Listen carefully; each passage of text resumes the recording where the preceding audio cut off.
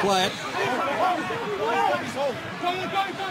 Oh, and just as he threw the ball to Rory Arnold, the big lock fell over. So a bit of a let off there for the Western Force. Now they'll look to clear through Holmes, the former Brumby.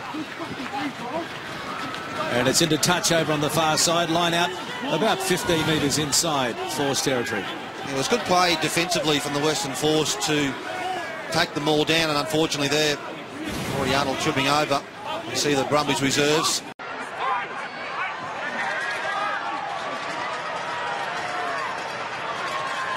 Twenty-two, slip and kick. Naholo again. Finds Ben Smith. Gil que percute. Nuevamente Guinea abriendo su línea. Ahora busca ese Gary Owen, el up and under, Nick Frisbee, balón altísimo, acude y falla. Ahí Itzi Folau, error de manos, pero luego placa a Frisbee.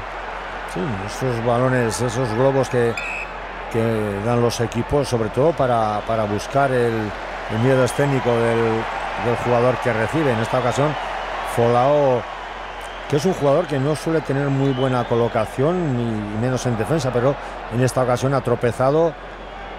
Ahí vemos cómo tropieza y descontrola. Contraataque sobre balón contrario.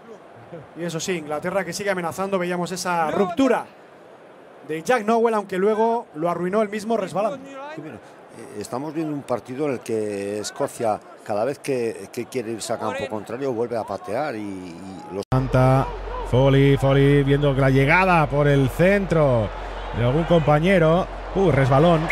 Y se va a escapar ese balón. Ahora a ver fuera de juego lo que indica el colegiado. Smith. eh, Smith que ahí se precipitó quizás en el pase. Se vino abajo Evans. Evans, se quitó. Presenta balón O'Brien. Murray lo recicla. A por todas Irlanda. Van a matar los irlandeses. Tommy Bowen en el offload. Recupera Hawk que resbala. Empieza a ponerse bonito el partido. 3 a 17. Únete a la melee. Bakis Bota quería recuperar en ese mall. Joe Simpson. Andy Wood abriendo la línea. Puede haber superioridad. Corre de lado Ron Miller. Ron Miller tiene a Bardell. Bardell habrá ensayo. Ensayo de Wasps. Tenemos partido. Ensayo para Wasps. Lo ha conseguido William Helu, el tongano. Perfecto ahí. Fabricaron superioridad ahora sí las avispas. Alegría de los seguidores ingleses en el Félix Mayol. Y William Helu, el tongano, que consigue la marca. Ahora mismo nos vamos a un 22 a 11.